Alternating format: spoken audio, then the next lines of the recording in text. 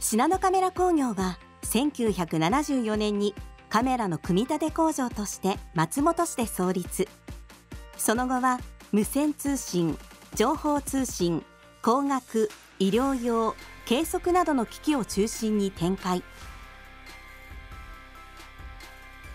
コア技術である基盤実装は量産から試作まで充実した設備と技術力を駆使してエレクトロニクスのさまざまな要望に対応しています。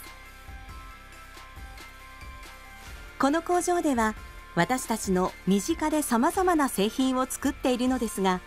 ここは自動車のエンジンを遠隔で操作するエンジンスターターの製造現場です。エンジンを無線でスタートストップしたりするもので実際使っている方も多いのではないでしょうか。自社製品の開発にも力を入れていてこちらは雷の発生を感知する雷検知器数十キロ離れた雷を検知してブザーで知らせる製品です雷がですね、まあ、ゴロゴロって聞こえてから避難すると、まあ、かなりもう近い状態になっているっていうことが多いんですよね。でそれをやっぱりその事前に知らせるっていうことで身を隠すなりそういった避難行動が取れるっていうそういったあの商品なんです。実際に雷が近づいてきたという設定でブザーを鳴らしてみましょう。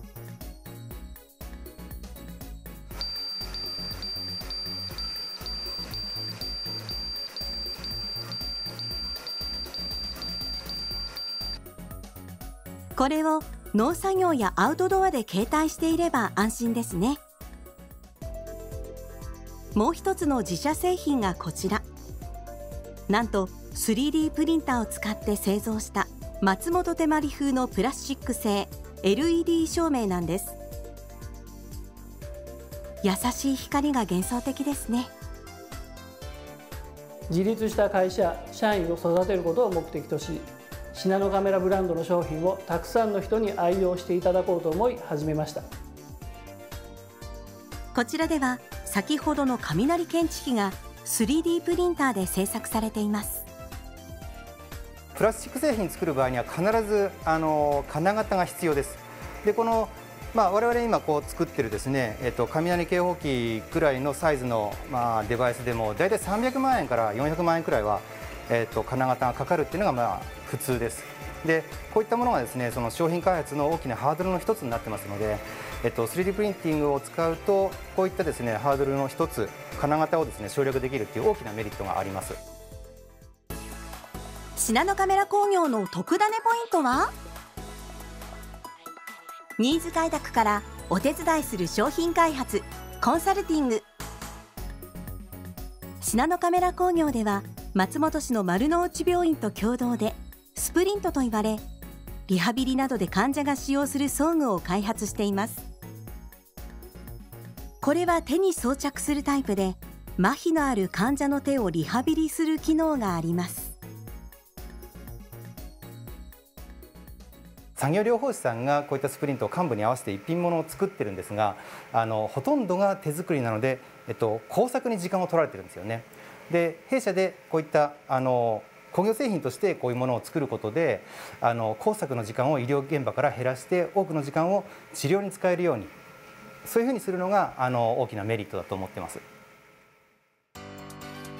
新たなジャンルで新たなニーズを開拓し商品開発につなげていくのは信濃カメラ工業の得意とするところです。えー、クリエイティブな仕事で、えー、試行錯誤が多く苦しい時もあるんですけど、えー、完成した暁には、え社会に貢献できるので大きな充実感を得られます。で設計したものが無事に組めて、え使用通りの動きをした瞬間っていうのはとても快感で、まあ、この瞬間にやりがいを感じます。社員の成長に力を入れてる会社です、え資格取得など、え積極的な支援をいただけるのでえー、成長途中な、え、若手の私にとって、え、うってつけな環境だと感じています。休暇取得が寛大なので、え、ワークライフバランスが取りやすくてそこも魅力の一つになってます。製造開発した製品が皆さんの暮らしを安心安全快適にすることが私たちものづくり企業の喜びであり使命だと思っています。また企業活動を通じてお客様社員をはじめ関係する皆さんの幸せのみならず社会奉仕活動を積極的に行って皆さんに必要とされる愛されるシナノカメラになりたいと思っています。